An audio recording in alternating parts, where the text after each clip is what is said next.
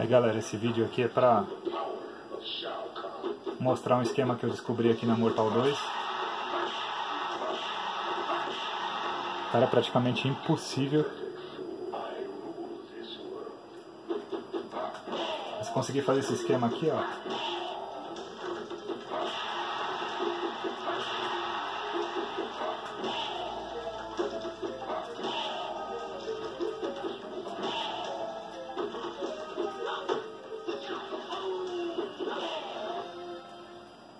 O esquema é pular de frente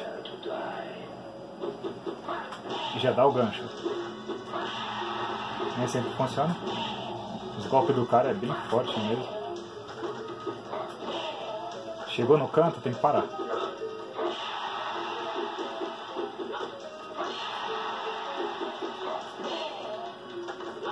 Tá aí.